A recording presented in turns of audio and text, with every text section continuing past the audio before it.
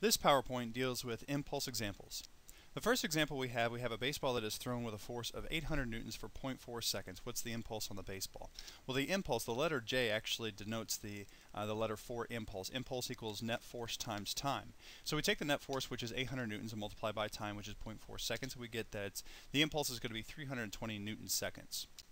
The next example, it says that a slap shot made by a hockey player delivers an average force of 900 newtons and an impulse of 18 newton seconds to a puck of mass 225 grams. How much time is the stick in contact with the puck? Well, if we go back to the original equation where impulse equals net force times time, in order to find time, we have to divide both sides by net force. So we get impulse divided by force, and that's going to be equal to 18 divided by 900, which gives us a total time of 0.02 seconds that the puck and the stick are going to be in contact with each other. The next example, in order to find the impulse here, we actually have to take the area under the curve. Um, ordinarily, we take the net force and, and, multiply it by time to find the impulse, but since we don't have a constant force here, we have a changing force, then we need to take the area under here. So we need to divide this into shapes that we can find the area for.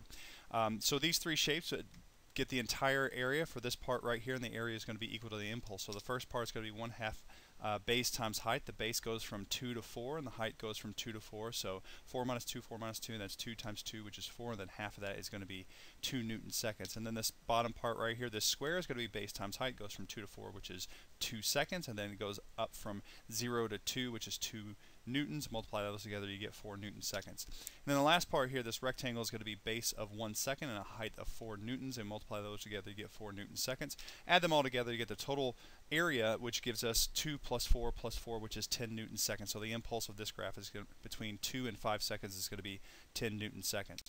The next example, it says that the uh, what's the average force or effective force for 2 to 5 seconds. So basically, since we have a changing force the entire time, what one force what force could I apply to get the same amount of uh, impulse over the same amount of time?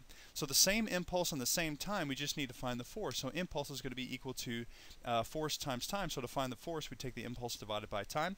The impulse, the total impulse we found to be 10 newton seconds and then multiply, or I'm sorry, divide that by the, the time, which is 3 seconds, so 3.33. 3.33 newtons is going to be the force, the average force needed in order to create the same impulse. So if we look at this and we plot it, you can see that the uh, 3.33 is about right here. So 3.33, if we were to make a rectangle with 3.33 newtons for 3 seconds, and that would give us the same area that this area gave us here. So if you kind of think of this as um, as kind of some dirt that we can cut off here and then fill in here, then level it off, then that would be the same area, and the same area means that the that we could have that same amount of force for the same for uh, the 3.33 newtons for three seconds and get the same impulse for this changing force. So that's going to be our effective or average force. And then we go ahead and, and complete this um, this worksheet.